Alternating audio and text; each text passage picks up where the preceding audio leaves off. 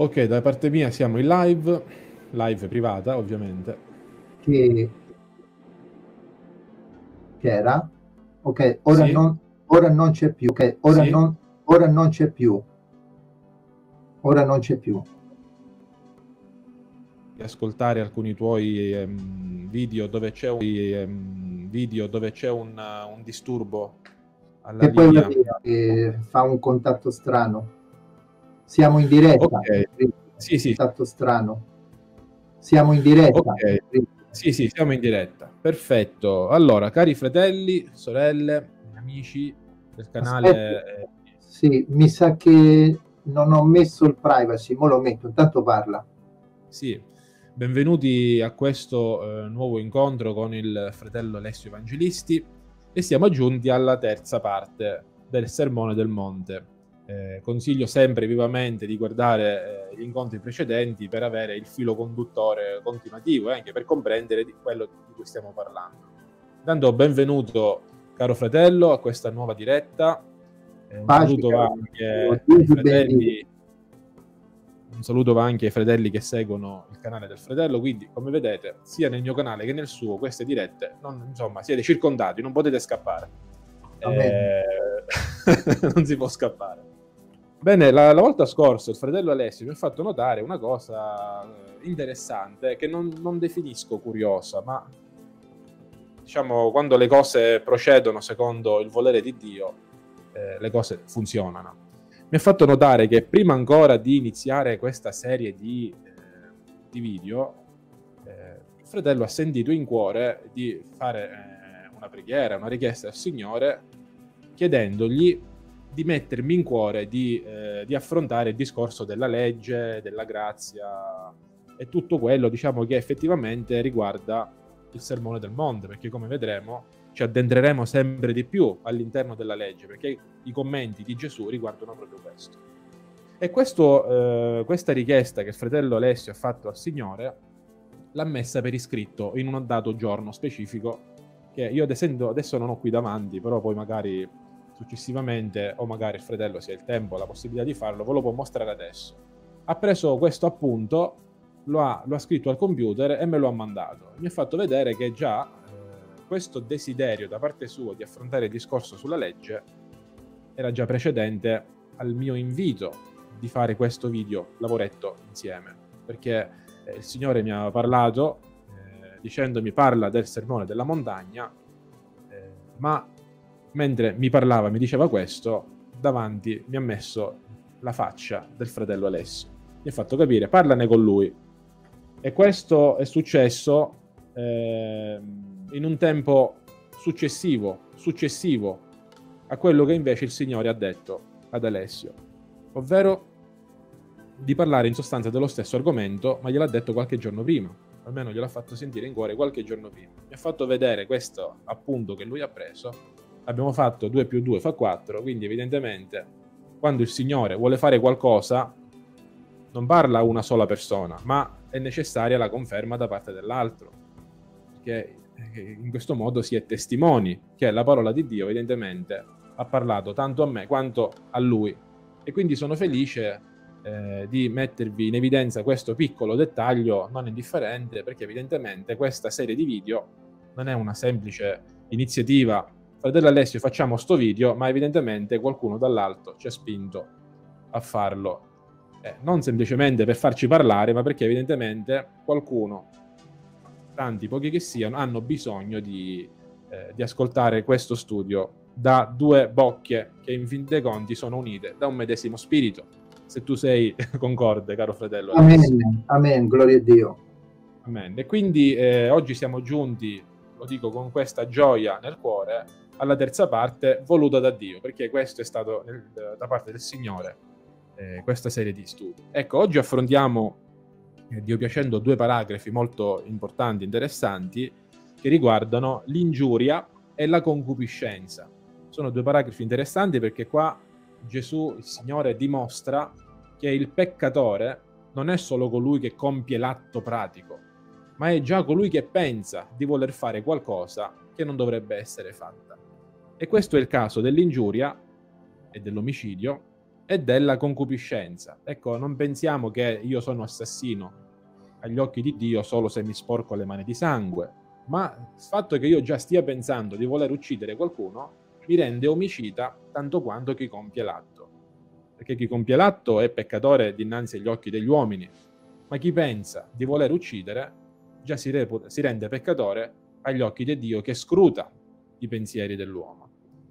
E quindi da oggi inizieremo a leggere, dal, eh, sempre siamo nel capitolo 5, da partire dal versetto 21, che dice così la scrittura. Anzi, prima di leggere eh, vorrei fare una breve preghiera, caro fratello, di introduzione, perché è giusto eh, approcciarci con il giusto spirito eh, e approccio appunto alle sacre scritture. Padre Celeste, ti ringrazio per questo giorno, eh, per questo terzo appuntamento sì, sì. per parlare della tua santissima parola e per poter dare del balsamo alle orecchie di quanti stanno ascoltando. Amen. Ogni cosa sia fatta, Signore, nel nome del tuo Figlio Gesù, possa tu ungere le nostre labbra, le labbra di chi parla e le orecchie di chi ascolta. Nel nome di Gesù te lo chiediamo, che benedetto in eterno. Amen, gloria Amen. all'Eterno. Benissimo. Così, benissimo, così dice la parola di Dio. Buon ascolto, buono studio. Amen. Voi avete udito che fu detto agli antichi, non uccidere. Chiunque avrà ucciso, una, eh, chiunque avrà ucciso sarà sottoposto al tribunale. Ma io vi dico, chiunque si adira contro il suo fratello sarà sottoposto al tribunale e chi avrà detto al suo fratello Raka sarà sottoposto al sinedrio e chi gli avrà detto pazzo sarà, con- sarà condannato alla ghenna del fuoco. Fermiamoci qui per il momento tutto ehm, qua eh, il Signore Gesù sta mm, qua eh, il Signore Gesù sta dando un insegnamento molto importante perché ehm, come dicevo poc'anzi nell'introduzione l'omicida non è solo chi si macchia le mani di sangue ma chi già pensa di volerlo fare ora l'omicidio premeditato era già proibito eh, nel sesto comandamento in Esodo 20 al verso 13 e eh, secondo la legge dell'Antico Testamento questo tipo di peccato prevedeva la pena di morte da 5.31. Ora, siccome tutte queste cose si trovano nella Torah, ora, siccome tutte queste cose si trovano nella Torah, non vuol dire che se noi che non siamo nati sotto la Torah non siamo, siamo esentati da queste leggi. Queste sono leggi etiche e morali che sono degli evergreen, non cesseranno mai di essere eh, in vigore, tranne quando poi saremo nell'eternità con Dio e allora non ci sarà più una Torah da osservare, perché noi vivremo insieme alla Torah vivente, che è il Messia Gesù Cristo. Ora, il divieto innanzitutto si basa sul fatto eh, che gli esseri umani sono creati a immagine di Dio, come dice Genesi. Quindi eh, chi uccide un uomo, dicono i saggi, uccide il mondo intero, l'umanità intera. Ora, per quanto riguarda l'omicidio invece non premeditato, quello colposo, eh, ci sono diverse clausole della Torah, come Deuteronomio 19, che ehm, come dire, tutelano l'omicida involontario, perché ci sono omicidi e omicidi. Però questo non vuol dire che se uno uccide involontariamente non è colpevole agli occhi di Dio, perché comunque all'omicidio involontario non veniva dato spazio di fare tutto quello che gli pareva. No, per evitare che eh, andasse incontro alla vendetta dei parenti del defunto, a questo omicida involontario veniva data l'opportunità di proteggersi in alcune città adibite proprio per lo scopo di proteggere questi casi. Ora, nel momento in cui questo omicida involontario rimaneva all'interno dei confini di questa città di rifugio, nessuno era autorizzato a toccarlo, era protetto ma se lo stava a mettere un piede fuori da quei confini, allora i parenti erano dal, dal tribunale autorizzati a vendicare la morte del proprio eh, defunto. Quindi Dio tutela gli omicidi involontari, ma questo non vuol dire che li autorizza, attenzione. Ora, i farisei insegnavano, scribi e farisei, determinate cose, dicevano cose a metà, non le dicevano le cose con, per intero, perché evidentemente avevano qualcosa da nascondere è perché loro stessi, nelle loro vite, avevano qualcosa da nascondere. E qui quindi il Signore interviene esponendo, mettendo a nudo la Torah dicendo quello che effettivamente dice la scrittura. Voi avete udito che fu detto, nel senso a voi vi hanno detto che Mosè ha insegnato queste cose, ma io vi dico che Mosè ha insegnato anche queste cose, ovvero chiunque si adira contro suo fratello sarà sottoposto al tribunale. E ora che cosa ci azzecca l'adirarsi con l'omicidio? Evidentemente è un adirarsi che ha lo scopo di andare ad ammazzare qualcuno. Qualcuno nel Nuovo Testamento disse adiratevi ma non peccate. Ecco, in questo caso il tipo di rabbia che viene suscitata eh, in questo versetto eh, sfocia, è quello che sfocia nell'omicidio. Quindi già qui, se tu ti arrabbi contro tuo fratello con lo scopo di voler avere cattive intenzioni contro di lui, sappi che agli occhi di Dio sei già omicida, prima ancora di macchiarti le mani di sangue. Ehm, dove dicono chiunque, dove dicono chiunque si attira contro suo fratello, dopo la parola fratello alcuni manoscritti aggiungono eh, senza motivo. Ora noi non abbiamo bisogno, nelle nostre Bibbie questo senza motivo non c'è, in alcuni, in alcuni codici, nei manoscritti è presente, ma questo non vuol dire che il fatto che nelle nostre Bibbie non ci sia scritto ci autorizzi a uccidere senza motivo. No, non bisogna uccidere. Il comandamento non uccidere ovviamente non va inteso in maniera assolutista, iperpacifista, perché Dio consentiva l'uccisione nella guerra, consentiva l'uccisione per la pena capitale, ma non consentiva l'omicidio volontario. Questo non giustifica. Questo non giustifica che ora, di punto in bianco, ci svegliamo la mattina e dici ora lo ammazza quello là. No, dobbiamo stare attenti anche a quello che diciamo, perché anche la parola proclamata pure ci insegna che non è quello che mangiamo che ci rende impuri, ma le cose che diciamo. Non è quello che mangiamo che ci rende impuri, ma le cose che diciamo. L'effetto contrario quello che entra dentro di noi non ci rende impuro, è quello che esce da noi, dalla bocca, è quello a renderci impuro. Quindi attenzione a quello che diciamo. Ora, eh, qua viene evocata una parola aramaica che nel Nuovo Testamento è scritta in caratteri greci, ma è una parola aramaica, quindi è una traslitterazione. Raka Raka è diciamo, una parola eh, tradotta e intesa, interpretata in moltissimi modi come un insulto gravissimo. Sì, effettivamente, dal punto di vista ebraico eh, è un insulto gravissimo, ma nella nostra cultura occidentale, se io dico a una persona zucca vuota, non è che si offende, non è offensivo dire zucca vuota a una persona. Stupidino. Ecco, dire questi, eh, queste parole con questi diminutivi a volte anche un senso affettivo nel dare dello stupidino a qualcuno. Ma per l'ebreo antico, che era molto, che pesava le parole, già solo per il fatto di avergli, di, di avergli detto testa vuota, quella sarebbe stata una grave offesa. Per esempio, eh, se un ebreo dice un altro ebreo, ebreo Hamor, gli sta dicendo una parolaccia di quella pazzesca, mentre in italiano è semplicemente somaro. Ecco, se tu dai del somaro a, qual- a un ebreo, lo stai insultando in una maniera così grave che qui la scrittura lo sta imputando alla pari dell'omicidio. De misurare le parole. Quindi, da, quindi dal punto di vista biblico, sì, la, la scrittura cita una parolaccia intesa tale nel 2000 anni fa. Ma anche oggi, se tu a un ebreo gli dici Hamor, gli dai dell'asino, del somaro, lui si offende in una maniera incredibile. Ma perché si offende in questo modo? Perché Hamor, asino, eh, somaro, rievoca il nome del papà di eh, Sichem. Vi ricordate il caso di Dina che viene violentata? eh, poi i di, i figli di Giacobbe si, si vendicano, uccidono, eh, fanno il massacro di Shechem. Ebbene, questo Hamor era il re, il, il, il, capo di questa città. E questo capo, Hamor, ha per nome Somaro. Quindi quando tu a qualcuno dai del Somaro, in ebreo dà del Somaro a qualcun altro, gli sta dicendo che meriterebbe la stessa fine che ha fatto Hamor e tutta la città di Sichem, essere uccisi completamente.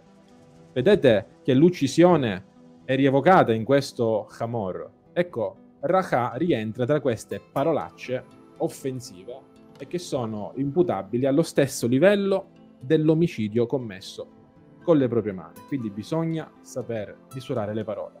Raha è una parola aramaica che deriva da reka, che significa vuotezza o testa vuota. Quindi in Occidente non è offensiva dare del testa vuota a qualcuno, tranne se stiamo di fronte a una persona molto sensibile che già solo perché lo guardi già si sente insultato. Ecco, questo è eh, un piccolo, eh, una piccola condivisione che ci fa capire quanto era grave esprimersi contro il proprio fratello in certi termini, a tal punto che chi dice pazzo addirittura al proprio fratello rischia la condanna nella ghenna di fuoco, all'inferno, detta in termini papali papali.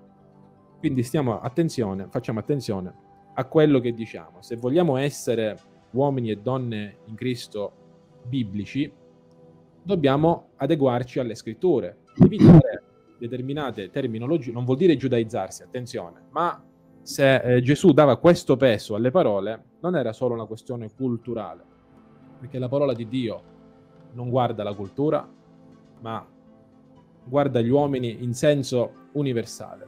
E noi se vogliamo dimostrare di avere timore di Dio, anche in queste apparenti piccolezze penso che dovremmo adeguarci con santità e timore di Dio. Ecco, io mi voglio fermare qua, voglio dare eh, al fratello Alessio se vuole aggiungere qualcosa. Io mi sono un pochino soffermato su una questione più specialistica, contestuale, poi magari la questione più teologica, o se hai altro da aggiungere. A te la parola, fratello, e Dio ti benedica. Amen. No, mentre tu parlavi, io ho aperto i, i vari strong, tra cui ho aperto anche il 7386 REC, perché se non vado errato, Raka viene da Rec, Urrechia o come hai detto tu, Reca. Reca, che è lo Strong 7386 che significa proprio ozioso, vuoto, eh, senza valore.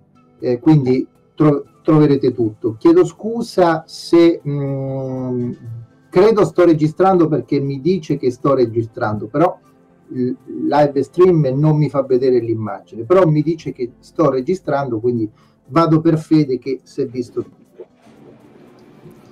Vorrei ehm, ehm, farti una domanda nel senso che mai aperto una finestra che io effettivamente non avevo mai eh, pensato, le città rifugio. E interessante no, notare, caro fratello, che correggimi se sbaglio, eh, perché veramente eh, quando eh, eh, nell'ebraismo, nel giudaismo, quindi nella scrittura, nel giudaismo biblico, si dice ehm, di, se uno ti percuote la guancia, porgi l'altra guancia, lì ha a che fare sopra, più che altro per l'offese, non tanto sul lato fisico. Mm-hmm. Normalmente nel giudaismo è corretto questo? Sì, non è una questione letterale corporale. Letterale corporale quanto di offese, però come discorso generale questo ti apre una finestra a molti principi.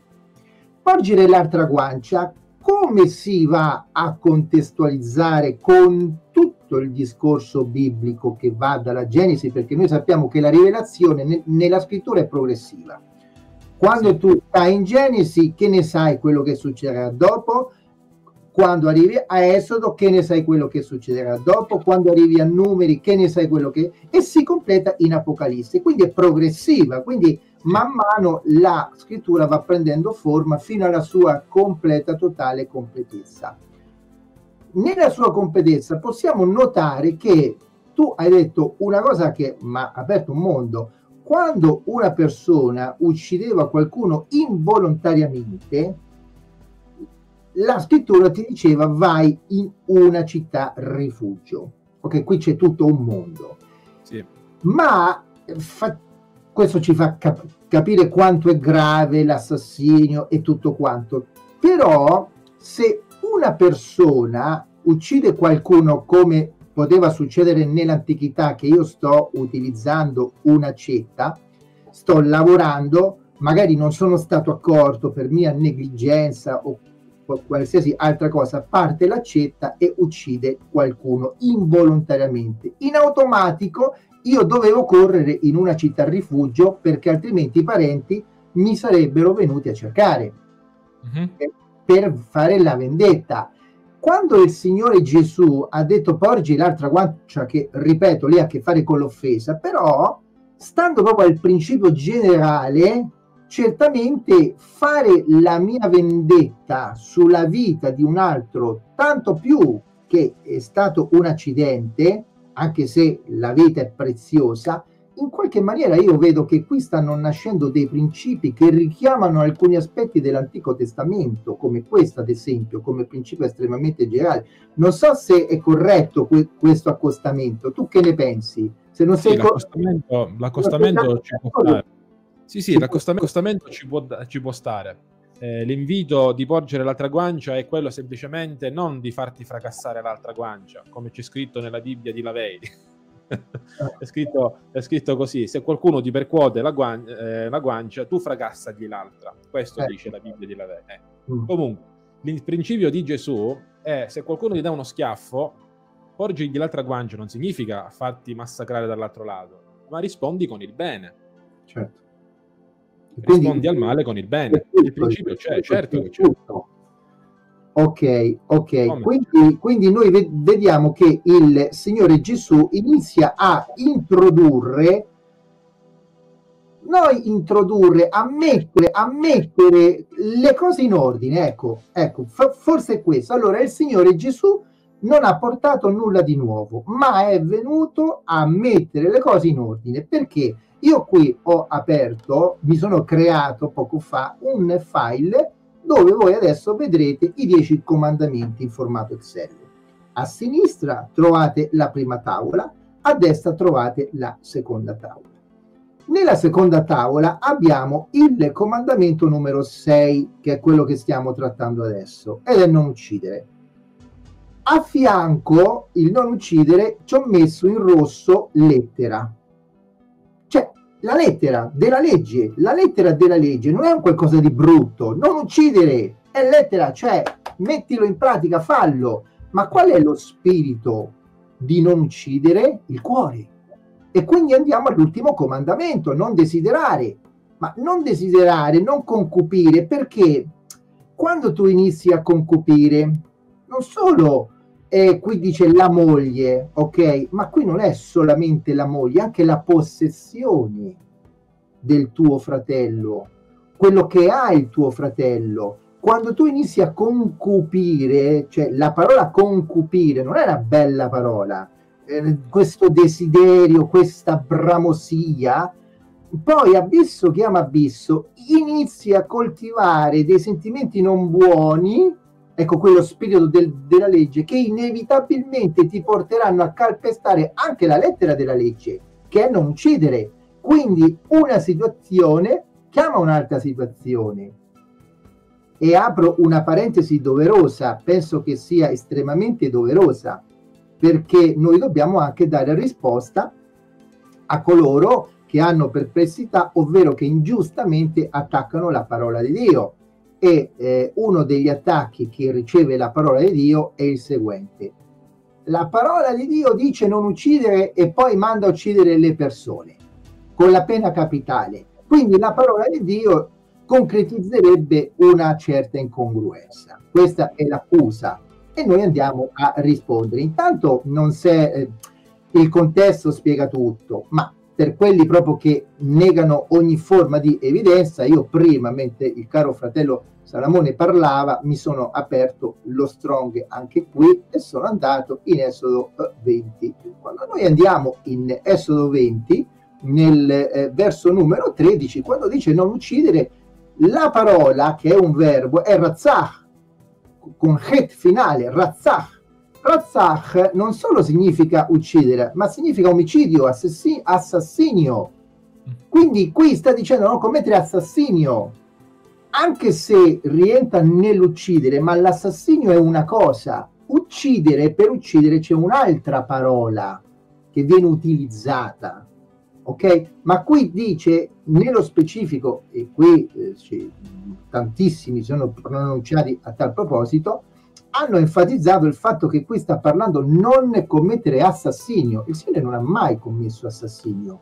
E quando qualcuno viene ucciso nella legge, non era un assassinio, ma addirittura si era riunito un gruppo ehm, di giudici e avevano dimostrata l'effettiva, eh, mostrata l'effettiva eh, colpevolezza dell'individuo per il quale deliberatamente aveva commesso un atto che già era morto, perché l'inferno è un'altra realtà che si trova nel, nel eh, contesto eh, biblico, nel, nel, suo complesso, e così via mh, hm, discorrendo. Quindi queste sono alcune eh, allusioni, eh, situazioni, eh, insegnamenti che si possono eh, trarre da questo, da questo passo mi voglio fermare qua perché veramente qui c'è ore da parlare e vi lascio con queste poche parole. Se noi siamo cristiani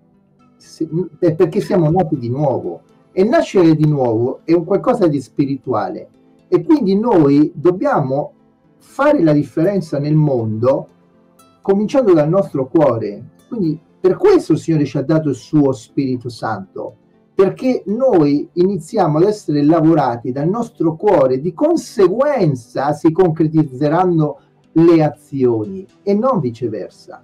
È dal cuore che nasce tutto. Quindi quando il Signore Gesù è venuto, non è venuto a annullare la lettera della legge, no, non uccidere lettera, ma anche è, è santa e in vigore, ma è venuto a sistemare le cose. Non c'è solo la lettera, ma c'è anche lo spirito quindi che tu fai le cose e poi dentro sei un lupo rapace, uno che dici eh, rec, racà a tuo fratello, cioè vuoto, cioè in te non c'è Dio, in te non c'è unzione, tu non hai chiamata di Dio, tu non hai niente, tu non sei un figlio di Dio, tu non sei un predicatore, tu non sei... Sei imbarazzita eh, praticamente. Sei imbarazzita. Quando tu in realtà non, eh, non c'è, nu- in realtà non, eh, non c'è nulla che possa dimostrare mm. questa accusa, se invece ci sono i frutti che lo dimostrano, amen, ma quando non ci sono questi queste prove tangibili e uno viene, non solo ti dice pazzo, raca, ma ti dice vuoto, tu sei vuoto, in te non c'è Dio, in te non c'è chiamata,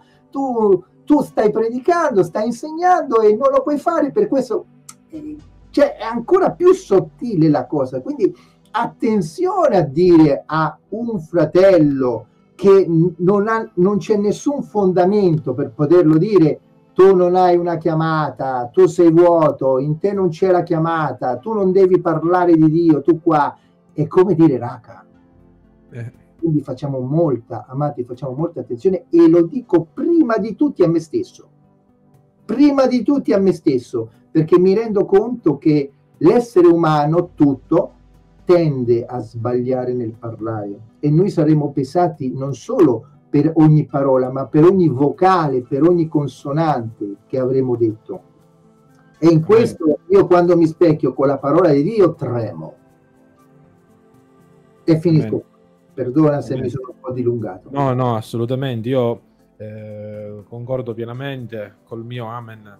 Eh, eh, volevo farvi sottoporvi anche la vostra attenzione, visto che il fratello ha eh, in sovraimpressione i dieci comandamenti provate a fare questo, a me piace anche essere molto didattico eh, nel mio modo di esporre, eh, provate a fare questo esperimento, prendete i 10 comandamenti, divideteli in due, 5 da una parte, i primi 5 da una parte i primi 5 dall'altra, e vedete che il primo comandamento è parallelo al sesto, il secondo è parallelo al settimo, e andate così. Quindi il sesto comandamento che non uccidere dimostra che è l'infrazione del primo, non amare Dio significa uccidere. Mm. Ti stai uccidendo da solo. Il secondo comandamento, non farti scultura né immagine, eh, se tu lo fai, stai commettendo adulterio. Esperimento e vedete come seco- i, diciamo, la seconda parte dei comandamenti ris- come seco- i, diciamo, la seconda parte dei comandamenti risponde, spiega i primi. Ed effettivamente è quello che succede andando avanti nell'Esodo, vedete che poi i comandamenti molti sono più approfonditi, sono più descrittivi, eh, eccetera. eccetera. Comunque, detto questo, mh, mm, il testo continua eh, riguardando anche ovviamente la riconciliazione, che non parla solo di quelli che pensano male del fratello, che lo vorrebbero ammazzare, lo vorrebbero strangolare, ma invece la scrittura tutela la santità dell'individuo che non va ucciso, la persona, del fratello, e quindi ti esorta alla riconciliazione. Così dicono le parole a partire dal verso 23. Se dunque tu stai per offrire la tua offerta sull'altare e lì ti ricordi che tuo fratello ha qualcosa contro di te, lascia lì la tua offerta davanti all'altare e va prima a riconciliarti con tuo fratello. Poi vieni a offrire la tua offerta. Fa presto, amichevole accordo con il tuo avversario. Adesso lo chiama avversario, prima era fratello, ma ora è avversario. E avversario è Satan. Mentre sei ancora per via con lui, affinché il tuo avversario non ti consegni in mano al giudice il giudice in mano alle guardie e tu non venga messo in prigione. Io ti dico in verità che di là non uscirai finché tu non abbia pagato l'ultimo centesimo. Queste parole Gesù le sta rivolgendo alle folle. Immaginiamo Gesù sul, eh, messo in una posizione più elevata e le folle lì che lo ascoltano con le orecchie spalancate, perché anche il non credente che ascolta Gesù in un modo o in un altro, l'ascolto comunque sempre gli arriva nell'orecchio. Abbiamo fatto notare che queste folle erano composte da diversi tipi di persone, i discepoli, semplici uomini di passaggio, scribi e farisei che non vedevano l'ora di coglierlo in fallo, quindi persone che eh, cercavano il pero nell'uovo per poter denunciare Gesù. Quindi vediamo che lui era ascoltato da tanti tipi di orecchie e lui sta parlando a tanti tipi di orecchie. La riconciliazione è uno dei temi eh, più difficili da digerire nel nostro mondo cristiano, perché si pensa in questo modo quel fratello mi ha fatto un torto, io non ho nulla contro di lui. Se vuole deve essere lui a venire a chiedermi scusa. E non funziona così, non te ne puoi lavare le mani così facilmente. Perché se mentre stai offrendo, in questo caso eh, il sacrificio, perché siamo in un contesto dove il tempio è ancora attivo e quindi i sacrifici levitici erano ancora in vigore, ecco, nel momento in cui tu stai per offrire il tuo agnello, la tua colomba, il tuo... Eh, toro, quello che sia, e ti ricordi che c'è qualcuno, qualche fratello, che ha qualcosa contro di te, non tu qualcosa contro di lui. Se ha qualcosa contro di te te lo ricordi proprio in quel momento, metti da parte il tuo sacrificio e vai a riconciliarti con lui, perché non puoi presentarti alla presenza di Dio con un cuore non riconciliato. Come possiamo essere noi riconciliati con Dio se non siamo riconciliati con il nostro fratello? Ecco, siamo uguali a quelle persone che dicono di amare Dio, ma odiano il loro fratello. Ecco, non puoi dire di amare Dio che non vedi e odiare tuo fratello che vedi. Sei ipocrita. Quindi se ci dobbiamo accostare alla presenza di Dio, dobbiamo farlo con la sincerità e con il cuore corretto. Bisogna fare teshuvah, bisogna tornare indietro, bisogna fare anche, come direbbero gli ebrei, tikkun. Tikkun significa fare riparazione ripara a un danno che c'è. Non necessariamente non lasciare andare la cosa. Riconciliati, perché altrimenti non sei degno per entrare alla, alla cosa. Riconciliati, perché altrimenti non sei degno per entrare alla presenza del Signore. Specialmente questo viene anche detto quando ci sono nei giorni della Santa Cena, no? Eh, se c'è qualcuno che si deve riconciliare, lo faccia perché non si può accostare alla Santa Cena senza una riconciliazione. Ecco, la stessa cosa valeva nel mondo giudaico di allora dei sacrifici. Qua ci dice se te lo ricordi proprio in quel momento, allora devi andarti a riconciliare. Quindi questo significa che se non te lo ricordi non succede nulla. Quindi l'importante, cioè nel momento in cui te lo ricordi non puoi fare finta di nulla. E il Signore ci mette alla prova proprio in questo. Ci mette in circostanze in cui, specialmente il sacrificio che era uno degli atti più sacri che un ebreo compieva ogni giorno, ecco proprio in quel momento si dimostra la fede. Prima offri e poi ti riconcili, o prima ti riconcili e poi offri. Il vero sacrificio a Dio non è l'agnello sgozzato, ma è la riconciliazione con il tuo fratello. Perché il Signore non sa che farsene del sangue e del grasso, ma vuole riconciliazione, misericordia, queste sono le cose, l'obbedienza. Questi sono i veri sacrifici che Dio richiede. Quindi sebbene noi, magari Gesù qui sta parlando ai farisei, secondo me, sta parlando ai capi religiosi, che loro pensavano di essere, di mostrare la loro giustizia attraverso le loro opere esteriori.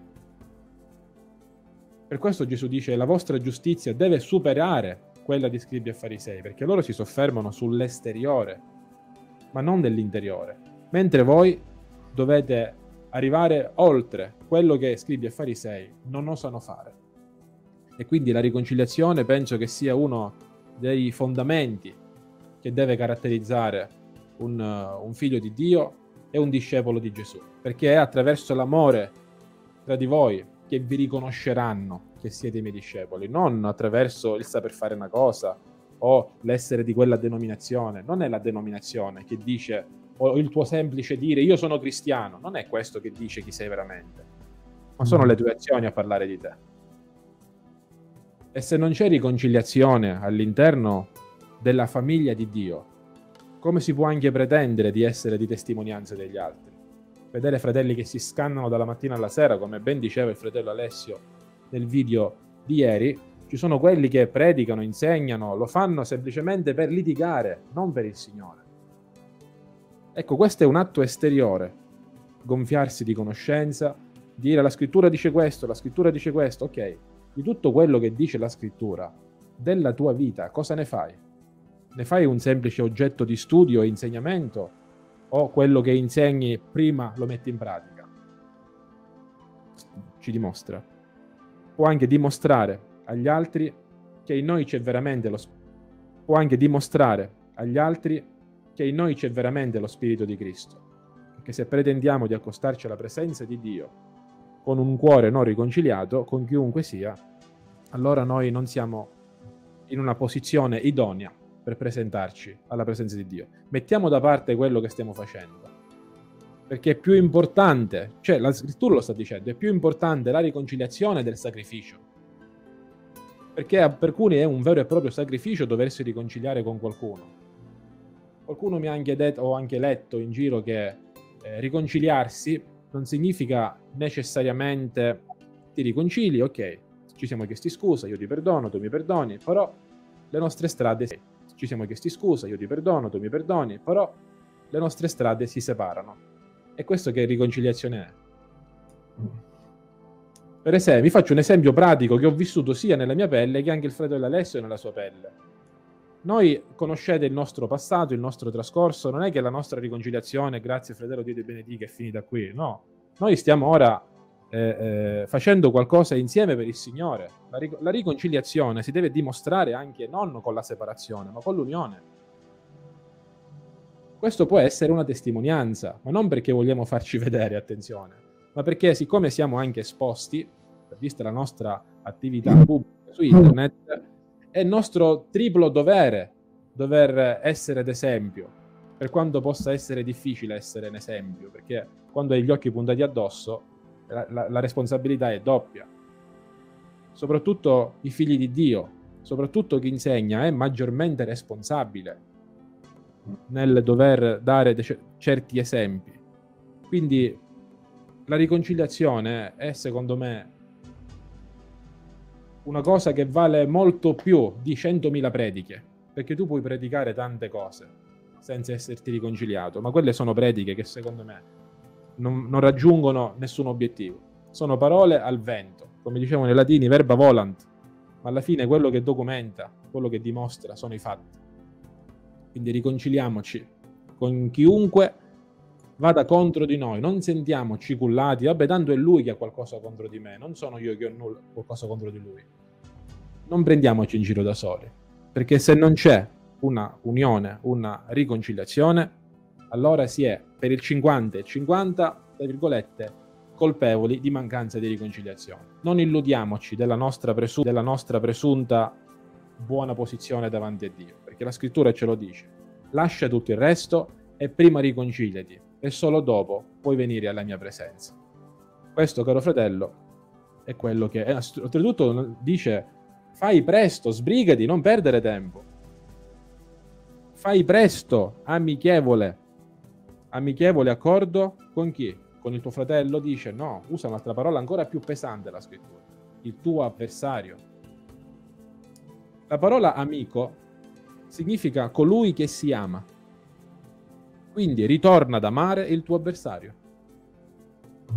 Non vuole sentirne, non, vuole, non gliene frega niente, almeno tu ci hai provato. Non, vuole, non gliene frega niente, almeno tu ci hai provato a recuperare tuo fratello. La scrittura lo dice, recupera prima tuo fratello. Perché se noi non neanche ci tentiamo, noi siamo colpevoli tanto quanto lui. Il Signore non, eh, non fa favoritismi. Solo perché io ho subito il male e lui mi ha fatto il male, non vuol dire che io non sia colpevole. Non sono colpevole se ricon- non, cerco la riconciliazione. Se lo lascio, lo abbandono a lui stesso. La scrittura ci dice sempre in Ezechiele, se tu non parli all'empio e lo quantomeno gli dai la notizia, gli dai la comunicazione che se non si ravvede fa una brutta fine, se tu non lo fai, sappi che il suo sangue ricadrà su di te. E se questo avviene con l'empio, figuriamoci tra fratelli in Cristo. Dio non è soggetto a favoritismi. Dio non chiude l'occhio. Persino gli angeli hanno, hanno migliaia di occhi attorno. Figuriamoci Dio. anzi, anzi, in alcune rappresentazioni Dio viene, Dio viene rappresentato addirittura con un occhio, giusto per, eh, per sdrammatizzare. Amen. Quindi, quindi l'importanza della riconciliazione è illustrata qui, quindi nell'esempio della persona che sta per essere giudicata in un tribunale. Non essere riconciliati avrà quindi le conseguenze disastrose a livello umano, ma molto di più se non si è riconciliati con Dio, perché se non ti riconcili con tuo fratello che vedi, tu stai dicendo a Dio indirettamente, io non voglio riconciliarmi neanche con te. Questo è quello che il Signore mi ha messo in cuore di dire. Sì, eh, mi sono venute davanti alcune cose. Eh, sono venute davanti alcune cose. Eh, tra l'altro, mi, mi, pare che qui si è concretizzata, scusate il, come lo dico, ma non, non trovo un altro termine, si è concretizzata una tripletta non mi viene un altro termine, mi viene un altro termine, perdonate se è poco ortodosso. Nella scrittura normalmente quando eh, eh, come dire, come dire eh, in verità in verità, amen amen.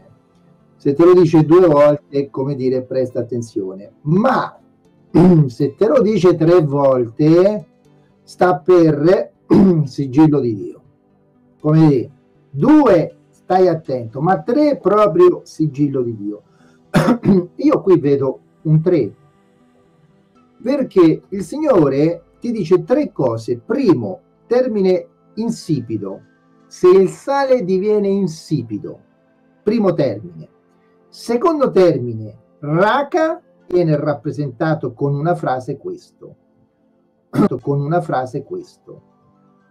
quando tu leggi il termine insipido nella scrittura, che praticamente si dice, eh, l'ho aperto prima, moraino, eccolo qua, significa pazzo, tonto, fatuo, eccetera. Uh, rec significa vuoto, vagabondo, significa vuoto, vagabondo, ozioso. Il Signore prima ti dice guai a te se diventi, ins- guai a te se diventi insipido. Poi ti dice attenzione a chi dice raca, perché se tu diventi insipido puoi fare questo. Una cosa chiama l'altra. E infine come dire, se proprio non capisci, ma siete così duri, disse ai suoi discepoli il Signore Gesù, lo disse a loro, pensa a quello che mi può dire a me. Vabbè. Amen. Poi dice, se tu stai per offrire la tua offerta sull'altare, ricordati del tuo fratello. Quindi tu vedi una situazione che chiama un'altra situazione, un abisso che chiama un altro abisso. Ecco perché poi altrove dirà chi è empio sia più empio e chi è santo sia più santo, perché nella vita si va avanti, non, quando, quando si dice sto fermo, non sto andando né avanti né indietro, in verità è fatto, perché tu se non stai andando avanti, stai andando indietro. La vita è un cammino. Quindi tutto questo per dirci di stare molto attenti al nostro cuore, perché il nostro culto, il vero culto, inizia la mattina quando ci svegliamo e finisce, tra virgolette, la sera quando andiamo a letto. E quindi quello che c'è dentro al nostro cuore inizia, a, deve essere lavorato con il nostro fratello, cominciando dalla nostra famiglia. Cioè io devo cominciare a lavorare con me stesso da dentro la mia famiglia, cominciando da uh, mia moglie, se c'è una moglie, mio marito, se c'è un marito, i miei genitori. Che rapporto c'hai con i tuoi genitori? Come li tratti? Li curi? Gli dai tutto quello che gli devi dare? Eh, con i tuoi figli? Con i tuoi parenti figli? Con i tuoi parenti? Poi se proprio non c'è niente da fare, che apro parentesi, però non voglio troppo sei stato abbandonato, c'hai una nuova famiglia, quella è la tua famiglia. Questo insegno io, altri insegnano. No, non è così, eh, ognuno ha il suo insegnamento. No, la tua famiglia è quel genitore che ti ha cresciuto, che ha dato la vita per te. Gli, gli altri che ti hanno abbandonato, li ami, ti riconcili, tutto quello che vuoi, ma adesso tu hai questa famiglia qua. Che rapporto hai con la tua famiglia? Che rapporto hai nella pubblica adunanza dove sei inserito?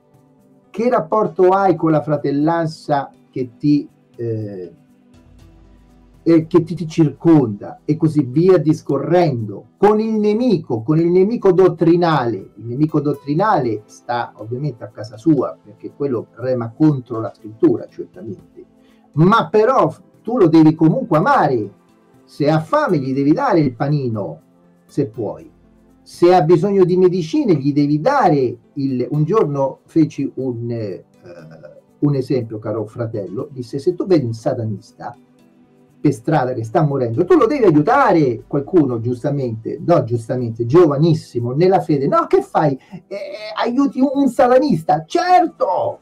Amen! Ma guarda, se c'era uno indemoniato era proprio Paolo che a, a, ammazzava i cristiani. Li uccideva più, più più demoni di lui, guarda, lui aveva le legioni dentro, ma tu ti immagini uno che fa torturare i cristiani? Quello che c'è poi dentro? So, solo, solo Dio lo sa. Ecco, eppure Dio lo ha cercato, quindi noi aiutiamo tutti, anche i nemici, li aiutiamo. C'è una storia di, eh, non so eh, se la posso aprire questa parentesi, mi sta un po' dilungando, ma penso che ci sta. La storia di, del 1500 di un Mennonita che stava scappando e lo stavano rincorrendo per ucciderlo perché all'epoca c'era eh, la persecuzione fra eh, non solo l'Inquisizione ma anche i protestanti che perseguitavano altri protestanti tipo i Mennoniti.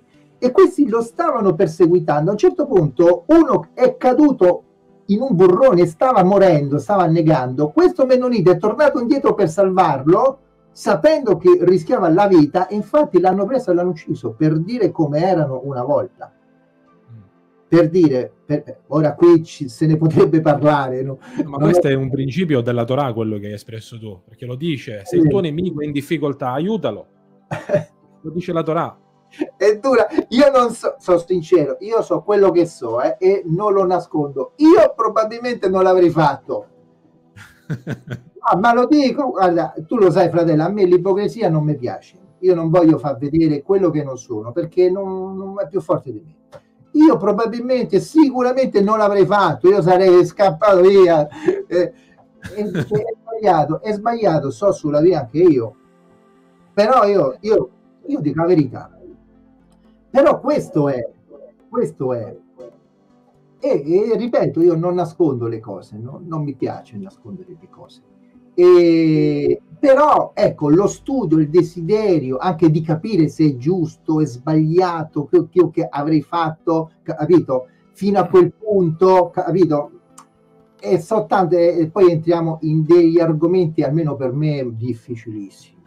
perché qui entriamo proprio nello spirito quello eh, difficilissimo. E, però questo, questo mi sentivo da dire e questo ho detto. Correggimi tu, eh, fratello. No, no, no, hai espresso attraverso questa storia del 1500 un principio biblico, come dicevo, che già c'è nella Torah. Se il tuo nemico ha difficoltà con l'asino, aiutalo a sollevare l'asino. Se il tuo nemico perde qualcosa, pre- recupera, eh, restituiscigliela. Ecco, abbi il coraggio anche di affrontarlo attraverso cosa? L'atto di bontà. Perché se tu al nemico ti comporti bene con lui, cosa mm. dice il Nuovo Testamento? La scrittura, tu accenderai sul suo capo dei tizzoni ardenti, lo farai riflettere, gli dai l'opportunità di riflettere su quello che tu stai facendo a lui e su quello che lui fa contro di te. Perché la buona condotta, la santità di condotta, anche senza che tu parli, può essere un motivo di testimonianza e di ravvedimento verso qualcuno. Io voglio precisare una cosa, quando io ho detto non so se l'avrei fatto, non intendevo che se uno mi sta perseguitando per uccidermi, se casca, io non vado a raccoglierlo, ma erano in 200 a perseguitarlo, non uno. Certo eh, che uno che mi sta perseguitando cade in un burrone, ovviamente quello sì, certo che lo vado a aiutare, ma se so 200 questo tu puoi pensare solo aiutino loro. Questo, questo io ho detto ma lui lo ha fatto che erano in 200 che è tornato certo, indietro ci sono e casi e casi sono... arrivando capito? È, è, quello che io dico che metto in dubbio su di me ma se uno beh sì penso che sia una cosa normale ecco. L'ho messa meglio che forse l'avevo messa un sì, po' perché male. diciamo eh, agire in questo modo sapendo che ci sono 200 che ti vogliono sgozzare e uno ha bisogno di aiuto di quelli che ti vogliono sgozzare allora tu già stai in questo modo forse ecco lì entra il legalismo e la lettera della legge. Questo ha fatto questo ecco io quello lo metto per me in dubbio però ecco che tanto di cappello per anche ci sono penso eh, sempre le eccezioni, no? Le eccezioni alla regola penso ci sono, come nel caso di Ahab che mente, dice una bugia bianca per salvare degli uomini di Dio. Questo non ci deve incoraggiare ora a dire le bugie bianche, però ci sono casi e casi, perché in quel momento lui ha salvato la vita delle persone hai toccato un tema doloroso. Io la penso come te, però eh, andrebbe spiegata un po' meglio perché sai, sì. come hai detto prima, abbiamo il fucile puntato. Eh, lo so, eh, lo so. Fratello Salamone, in, incredibile. Approva la bugia bianca. La bugia... Si, se ne potrebbe parlare a proposito. Se ne potrebbe parlare meglio, meglio. Io giudaico biblico qua, però mo eh. adesso veramente se andiamo a però se dovessimo be- venire attaccati non noi, ma il concetto biblico... Per rettificare quello che è stato detto e a specificare. A difenderlo, biblicamente. Sì, a proposito di questo... L'esempio di, di Racabbe. Però ecco, ragazzi, non dobbiamo mentire, eh? Perché eh, i c'è un... attenzione, eh? Amen, amen. C'è un principio, amen, amen. C'è un principio rabbinico che spiega il caso, per esempio, di Rahab. Come possibile possibile che Rahab viene addirittura menzionata tra le eroine della fede, no? Per fede salvò gli uomini, eccetera. Questo aneddoto spiega questo, che un giorno durante eh, la seconda guerra mondiale una famiglia ebrea era nascosta eh, in una casa abbandonata, semidistrutta, perché stavano passando per di lì degli, degli, dei tedeschi, stavano setacciando un po' la zona per scoprire qualche ebreo nascosto in questa piccola famigliuola eh, nascosta, eh, apro solo questa parentesi, c'era questo bambino che era stato educato secondo tutti i principi della Torah. Quindi era ben, era, aveva l'età, diciamo, eh, idonea per comprendere, intendere, però eh, dalla sua famiglia era stato educato in modo tale da non dover mai dire una bugia. Non si dicono le bugie. Poi che succede? Succede che questo bambino esce fuori dalla casa, scappa per prendere una boccata d'aria e dei tedeschi lo vedono. Lo prendono e i tedeschi dicono al bambino: Dove sono i tuoi genitori? E sono lì nascosti nell'androne sotto la scala. Ecco.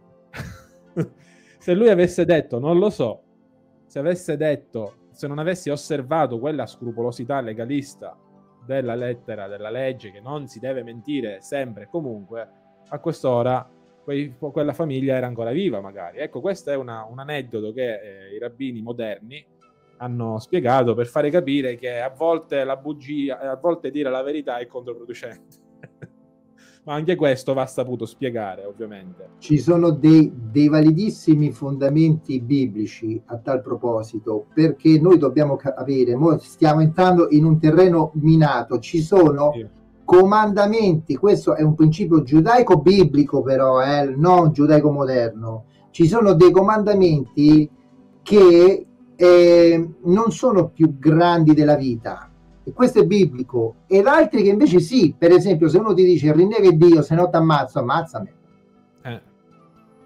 Ma ci sono altri comandamenti e questo principio lo troviamo come fondamento nell'Antico Testamento riproposto nel Nuovo. A proposito dei legalisti già pronti ad, già pronti ad attaccarci, ripeto, noi cercheremo di difenderci, non noi ma la verità, qualora Bene. si concretizzasse un eventuale attacco alla verità, ecco, perché noi stiamo qui per portare la parola di Dio e ci rendiamo conto della grande responsabilità, perché se insegniamo qualche cosa che non dobbiamo insegnare, facciamo la fine dei due figli di Aaron, come ben disse il fratello Daniele Salamone, perché con la santità di Dio non si gioca. Qualcuno disse nel 1700, con il fuoco di questo mondo ci puoi giocare, con il fuoco dell'inferno, peggio il fuoco che viene da Dio, ancor meno. Eh. Amen. Amen. Amen. Ok, chiudiamo, chiudiamo, questa ampia parentesi. Ci siamo eh, un attimo, ci siamo trovati. Quadra e graffa. Allora, noi continuiamo la nostra lettura, già stiamo quasi per arrivare, la nostra lettura, già stiamo quasi per arrivare alla, all'oretta, quindi penso di riuscire a terminare il secondo paragrafo, magari cercherò di essere, anzi, vediamo dove arriviamo, dopodiché okay. poi ci fermiamo. Il secondo paragrafo riguarda la concupiscenza, il ripudio e l'adulterio, anche questi argomenti molto, molto tabù che vengono poco affrontati e quindi è bene eh, farlo. La scrittura dice voi avete udito che fu detto non commettere adulterio, punto. Come se la legge fosse solo questo comandamento qui. Ma io vi dico che chiunque guarda una donna per desiderarla ha già commesso adulterio con lei nel suo cuore. Se dunque il tuo occhio destro ti fa cadere in peccato, cavalo e gettalo via da te, poiché è meglio per te che uno dei tuoi membri perisca piuttosto che vada nella ghenna con tutto il corpo. La ghenna è l'inferno e se la tua mano destra ti fa cadere in peccato, mozzala, tagliala e gettala via da te, poiché è meglio per te che uno dei tuoi membri perisca piuttosto che vada nella ghenna di tutto il tuo corpo. Mi fermo qui. Allora, non commettere adulterio. Scribi e farisei insegnavano questo comandamento solo in modo parziale. Ma qual era il contesto originale e ampio di questo comandamento? Lo troviamo in Deuteronomio 24, nei primi quattro versetti. Io al solito vi leggo dalla nuova riveduta, il fratello vi mette a disposizione anche la nuova Diodati, quindi chi vuole può consultare anche la Diodati.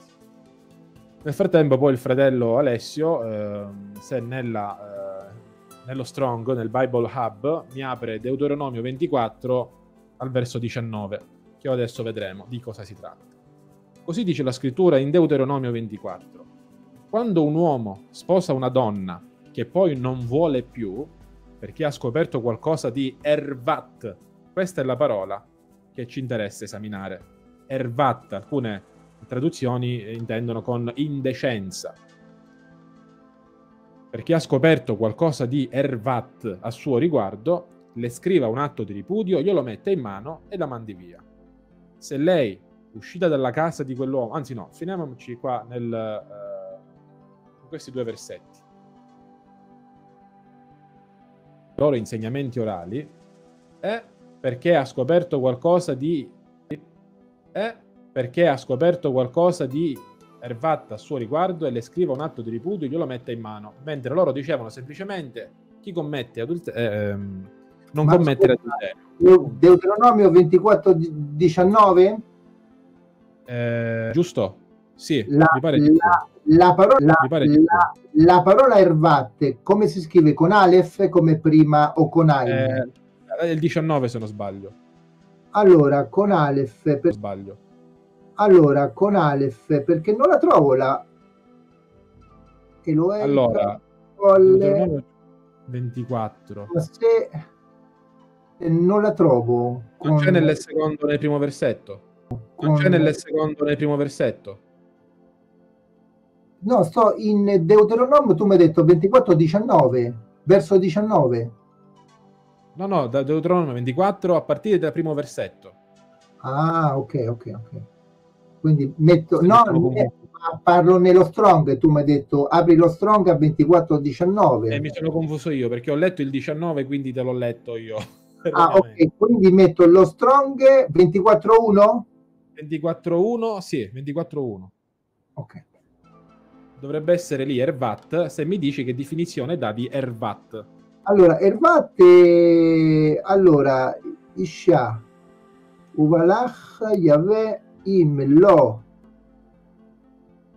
Ah, eccolo qua. L'ho trovato. Ah, eccolo qua. L'ho trovato. Okay. Ervat, 61, eccolo qua. L'ho trovato. Okay. Ervat, 61-72. Ok, e con Aine, perdonami fratello. Sì. Con Aine. E Erva. Erva. Erva. Ah, Erva, là è Erva. Ok. Erva. Allora, eh, nudità, vergogna, scoperto.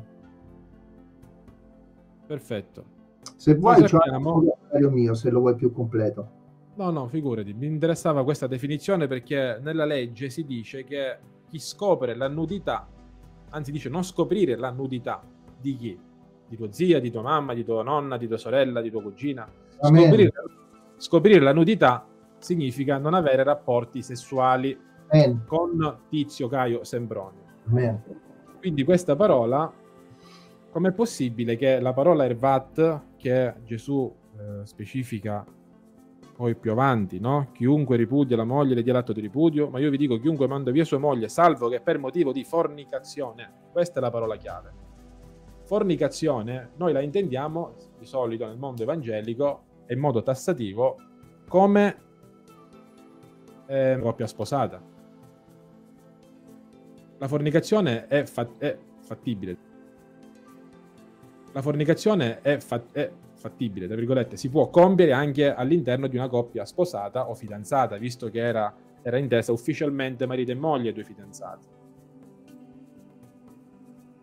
La parola che significa porn, cioè abbiamo noi la, la parola pofica, porn, cioè abbiamo noi la, la parola porno, pornografia. Ecco, porneia significa in sostanza prostituzione. Mm. Ecco, un uomo era autorizzato dalla Torah a mandare via sua moglie, salvo in caso di fornicazione, ovvero se lei avesse commetto, commesso prostituzione o in un'altra cosa, qualcosa di indecente, incesti all'interno del nucleo familiare. C'è un caso che Paolo condanna di un giovane che si corica con la moglie di suo padre. Questo è un caso di Ervat, un caso di fornicazione all'interno di un nucleo familiare. La stessa cosa che ha fatto Ruben con una delle concubine di Giacobbe. Ha commesso, ha profanato. Quindi la moglie che profana il letto può essere mandata via, secondo la Torah. Ma perché Gesù ha voluto sottolineare questo comandamento? Non commettere adulterio, punto. Ma qua la Torah invece ci dà il motivo per il quale si può mandare via la moglie. Qua la Torah, la scrittura e Gesù sta tutelando sia il nucleo familiare, sta insegnando per tutela del nucleo familiare, ma sta, sta tutelando anche la donna, perché all'epoca di Gesù le, le, le mogli venivano lasciate per qualunque motivo, alla minestra che era stata bruciata, o la moglie era stata bruciata, o la moglie aveva bruciato la camicia stirata male, ecco, per molti quello era un valido motivo per lasciare la propria moglie. Non è così. Il valido motivo deve essere Ervat e Porneia. Al di fuori di questi motivi, diciamo, la Torah non autorizza il divorzio. A che serviva l'atto di ripudio? L'atto di ripudio serviva per autorizzare la donna, la moglie lasciata, a rifarsi una vita. L'atto di ripudio serviva per annullare il vincolo matrimoniale, tant'è che poi, sempre la Torah, dice, se lei uscita dalla casa, sempre Deuteronomio 24, se lei uscita dalla casa di quell'uomo diviene moglie di un altro, e se quest'altro marito la prende in odio, scriva per lei un atto di divorzio. Ecco, per la seconda volta divorziata questa donna, glielo mette in mano e la manda via di casa sua, o se quest'altro secondo marito che l'aveva sposata muore, il primo marito non è più autorizzato a riprendersela, perché lei ormai è contaminata. Il primo marito non è autorizzato a riprendersela, anche se lo volesse. Non è autorizzato a riprendersela, anche se lo volesse. Questa è la lettera della legge. Oggi il Signore ci impedisce di ritornare in un primo coniuge, qualora ci fossero dei presupposti. Io lascio questa risposta a quanti vivono determinate situazioni particolari in famiglia. Fatto sta che la Torah non autorizzava per tutelare la purezza del primo marito per non riprendersi una donna contaminata già da un altro uomo. Ora la donna eh, poteva risposarsi qualora veniva lasciata per un valido motivo. Nel momento in cui veniva lasciata per questo valido motivo, il primo matrimonio era svincolato. Ervat e fornicazione svincolavano questa donna dal marito e quindi lei si poteva rifare un'altra vita. Ma se il marito lasciava la moglie per un motivo, scusate il termine, idiota, lei continuava ad essere vincolata al marito perché davanti a Dio quel, marito, quel matrimonio non era ancora, davanti alla legge, non era ancora invalido. Se il motivo fosse stato valido, allora la donna sarebbe stata vincolata, non vincolata. Ma siccome la stai lasciando per un motivo inutile, che non ci azzecca niente con una gravità di una situazione come la fornicazione, allora anche se tu gli dai l'atto di ripudio, quell'atto di ripudio non vale niente, perché non è un valido motivo il fatto che tu la stia lasciando. Quindi chiunque ripudia sua moglie le dia l'atto di ripudio. Questo era quello che dicevano scribi e farisei. Ma io vi dico, chiunque manda via sua moglie, tranne che per motivo di fornicazione, quindi se tu lasci la moglie per un motivo inutile, la fai diventare adultera. La fa diventare adultera e chiunque sposa colei che è mandata via commette adulterio. Cerco di spiegarmi meglio. Quando una donna veniva lasciata, adultera e faceva, se lei invece veniva lasciata per un valido motivo, faceva, se lei invece veniva lasciata per un valido motivo prescritto dal protocollo della lasciata, per un valido motivo prescritto dal protocollo della Torah, allora lei era divincolata dal primo matrimonio e quindi idonea per potersi risposare. Ecco perché la Torah in Deuteronomio 24 dice che dà la possibilità alla moglie di risposarsi, ma nel caso in cui è stata lasciata per valido motivo e per giusta causa. I farisei e scribi non insegnavano questo, insegnavano che tu potevi lasciare la moglie per qualunque motivo. Ma perché insegnavano queste cose così distorte? Perché erano i primi a commettere questi peccati. Ovviamente dovevano giustificare le proprie azioni.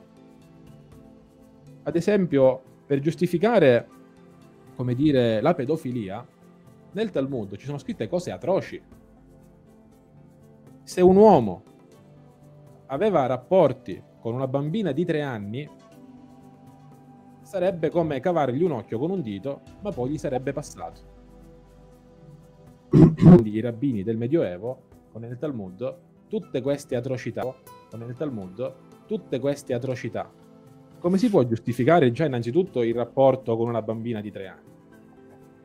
Loro le definiscono, le definivano le schiave designate. Quindi guarda che brutta parola rivolta a delle bambine, schiave designate.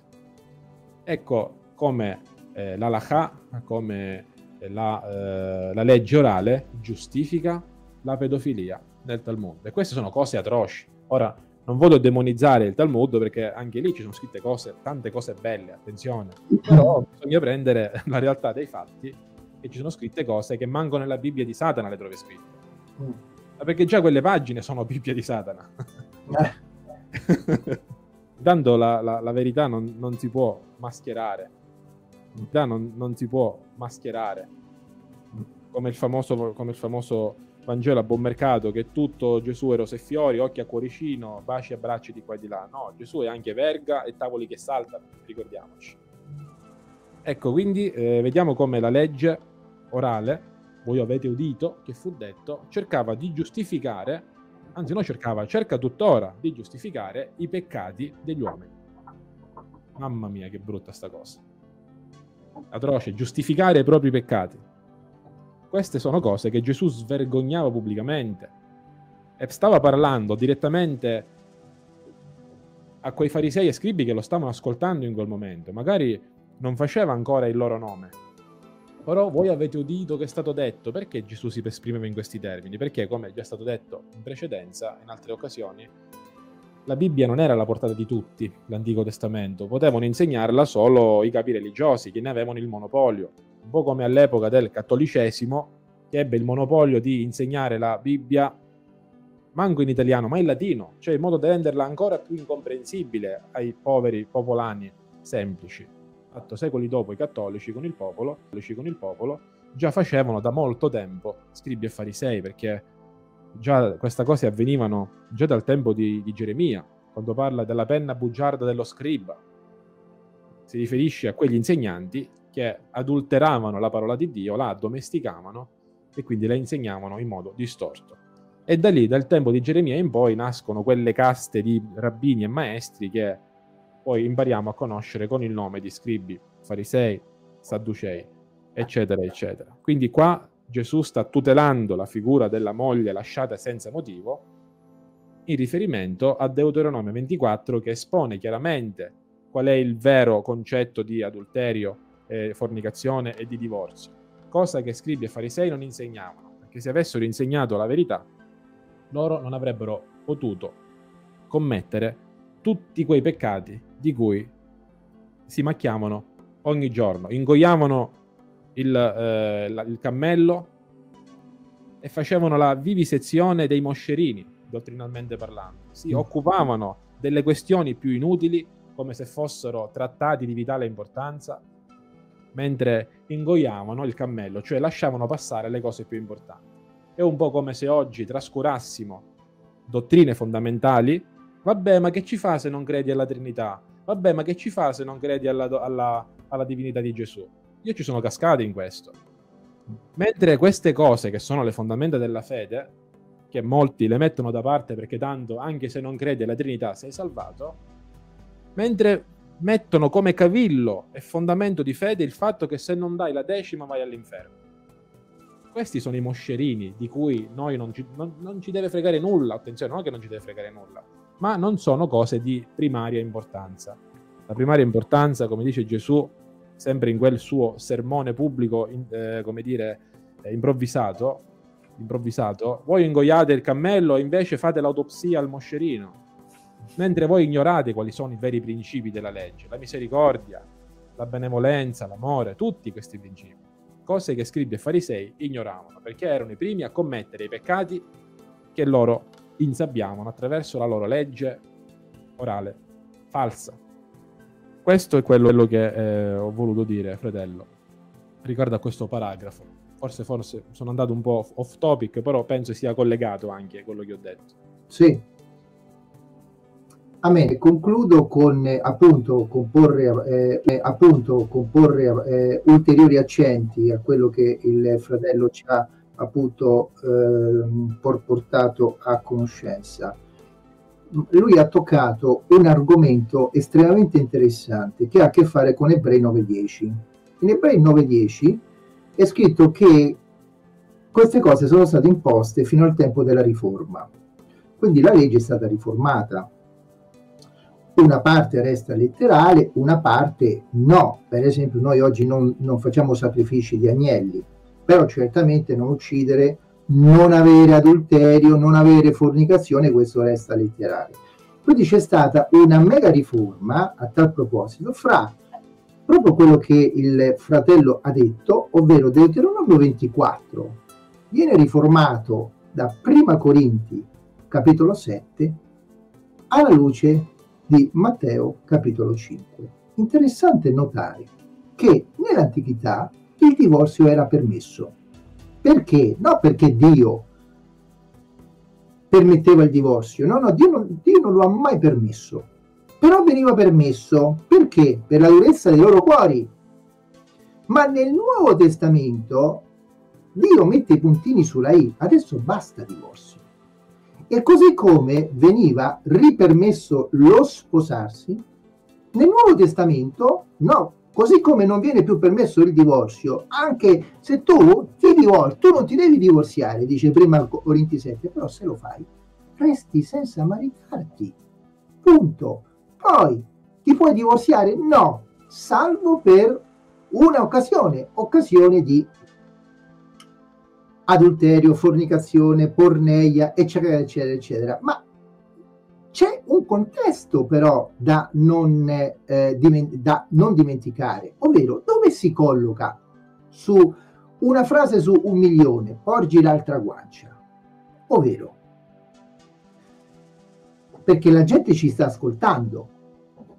Supponiamo che una moglie o un marito fa questa cosa atroce che umanamente parlando, quando tu tradisci il tuo partner, se ti arriva una padella fisicamente in testa, te la prendi. E non sto incoraggiando a tirare le padelle, però aspettatelo.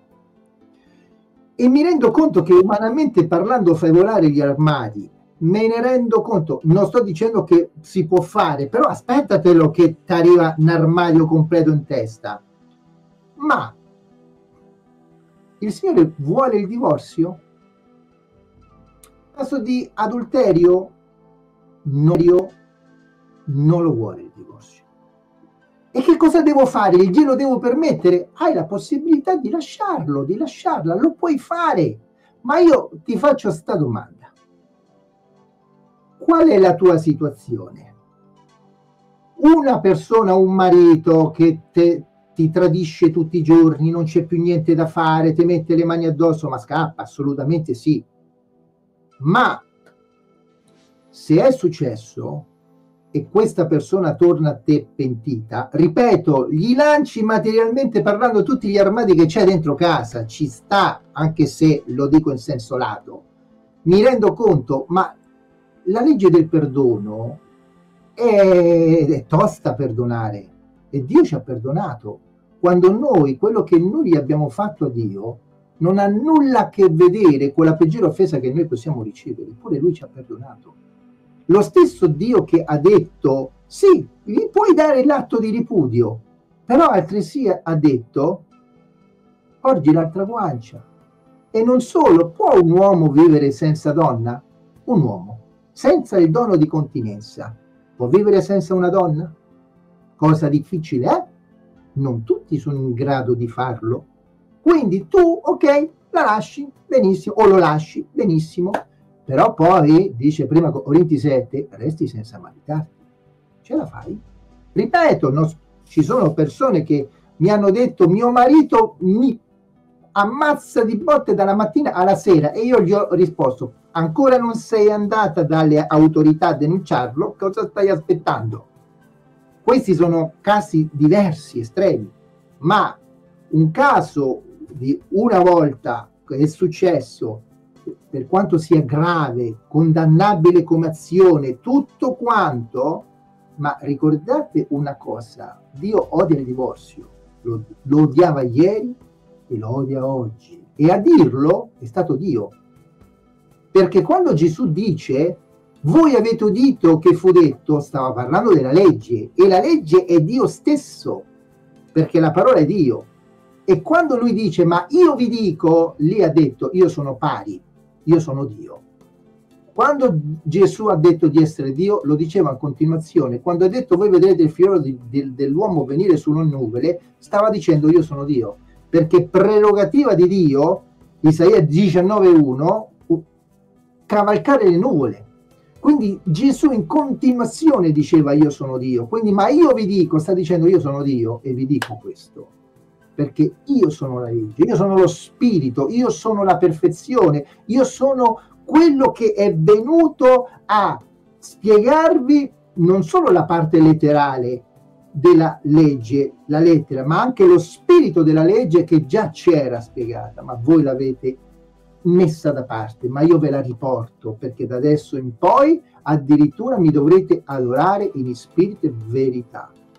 Ecco, mi, eh, questo ho voluto eh, solo aggiungere, dimmi te se sei d'accordo, se non sei d'accordo. Sì, questa è, la, questa è parola di Dio, quindi ognuno eh, si renda responsabile ovviamente delle proprie azioni, eh, quindi questo non significa, come diceva, ben diceva il fratello, eh, solo perché Gesù autorizzava perché non è una, un'autorizzazione data da Gesù quella di lasciarla in casa di fornicazione, lui ha ripetuto semplicemente quello che diceva la Torah. Quindi eh, mi permetto di dire, fin dove la situazione si può salvare, si salvi, ovviamente. Poi ci sono casi e casi che eh, certo. naturalmente non sono, irrecu- sono irrecuperabili, o per volontà di entrambi, o per volontà di uno solo, quindi lì per lì possono succedere queste, queste triste cose che non è, come dice Gesù, all'inizio non era così. In principio non era così. Ecco, noi dovremmo cercare di ritornare a quel principio. Queste sono le radici alle quali bisogna ritornare, nelle condizioni in cui Adamo era prima di commettere quello che ha commesso. Perché in fondo quando risorgeremo avremo il corpo di Cristo che pre- presumo sia simile a quello che aveva Adamo prima del peccato. Prima di chiudere devo dire una cosa perché questo argomento sicuramente ci arriveranno una marea di mail. Sì, Quindi sì. Già che ci siamo, anche se si sta allungando molto, però mi rendo conto che nella società in cui viviamo ormai le famiglie sono tutte sfasciate. Se una persona si trova, io ho sette matrimoni, eh, con questo matrimonio ci ho avuto dieci figli, con quest'altro ce ne ho avuti cinque, ho due figli in America, quattro figli nel Congo e, due, e tre figlie in Colombia. Ok, I, eh, eh, almeno io sono un essere umano, ci sono delle situazioni dove ne, neanche io nel mio piccolo che studio la parola di Dio so dove mettere le mani. Alcuni dicono, ah bene, adesso lasci questa moglie tu ci hai fatto quattro figli, sono vent'anni che ci stai insieme, ma tu questa la devi lasciare, devi andare dalla prima, devi, no, io, io, ecco, io qui non ho competenza. Se tu stai in una situazione che sono anni e anni e anni, sei sposato, ci hai fatto tutti figli, poi c'hai altri matrimoni con altre mogli, altri figli, io non so dove mettere le mani. Perché a un certo punto, quando il peccato ha preso radici su tutto quanto, e la tua vita è tutta un disastro, ma tu tutto questo lo hai fatto senza Cristo e oggi stai in Cristo, in una nuova situazione, tutte le cose sono fatte eh, eh, nuove, tutte le cose passate sono vecchie, eh. e da chi ne sa più di me, anche se io so poco, ma più di me, anche se io so poco, ma io nella mia ignoranza ti dico, tabà non tocca niente. Però ripeto, non ho competenze, cioè è talmente difficile che non so più dove mettere le mani perché 200 matrimoni, 300 figli, che, che fai? Che, cioè io non, io non sono in grado, sono ignorante, quindi non posso parlare, quindi penso, secondo me, stai così, sta buono.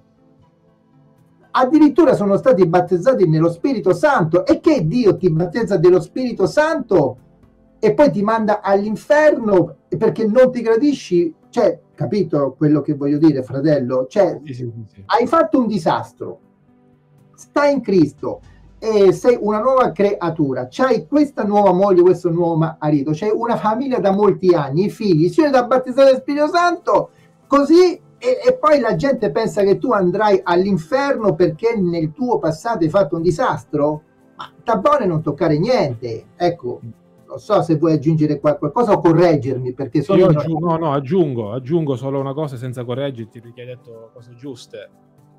E sai, quelli là che ricordano sempre più le cose buone che fanno le persone, eh, ricordano più le cose cattive che fanno che le cose buone. Ezechiele dice che Dio dimentica i peccati dell'empio che si ravvede, li dimentica. Quando è una nuova creatura, allora il peccato passato non esiste più nella mente di Dio, se lo scorda la stessa cosa avviene anche con il giusto. Se il giusto cade, allora Dio si dimentica di tutte le cose buone che ha fatto. Vedi, per par condicio, Dio eh, ragiona allo stesso modo, tanto con l'empio, tanto con il giusto che cade, con l'empio che si solleva e il giusto che cade. Quindi chi non ha vissuto Cristo e ha avuto tante relazioni, ma poi si è ravveduto, allora non marciamoci più sopra quel passato, perché non, più, non serve più. Se lo fa Dio, perché do- dobbiamo far- non dobbiamo farlo noi? Penso. Questi sono i temi che uno vorrebbe non affrontare mai, ma ahimè dobbiamo eh, farlo perché sono parola di Dio.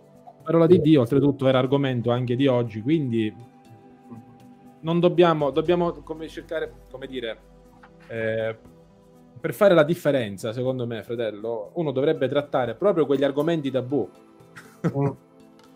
Eh, tutto rimane sempre là sotto la sabbia, bello, in, a cuccia, buono, senza che ne... sempre là sotto la sabbia, bello, in, a cuccia, buono, senza che nessuno li tocca. Ora poi appena pesti la coda a qualcuno, ah, sei legalista. Eh no. Va bene, fratello, per me eh, abbiamo terminato. Non so se tu vuoi aggiungere altre cose da dire. Ah, è veramente durata tanto. Amen fratello Alessio Evangelisti per la compagnia, per la conversazione chiacchierata biblica, per la compagnia, per la conversazione chiacchierata biblica con lui. Eh, ringrazio anche quanti eh, hanno seguito questo video. Ovviamente, se avete domande, eh, dubito che non ne avete, scriveteci e noi vi risponderemo tempo debito o con un video oppure direttamente con email. Vi saluto nell'amore del Signore, Shabbat Shalom per i fratelli ebrei e messianici che ci seguono e che Dio vi benedica. Shalom fratello Alessio. Shalom fratello e shalom a tutti quanti. Dio vi benedica.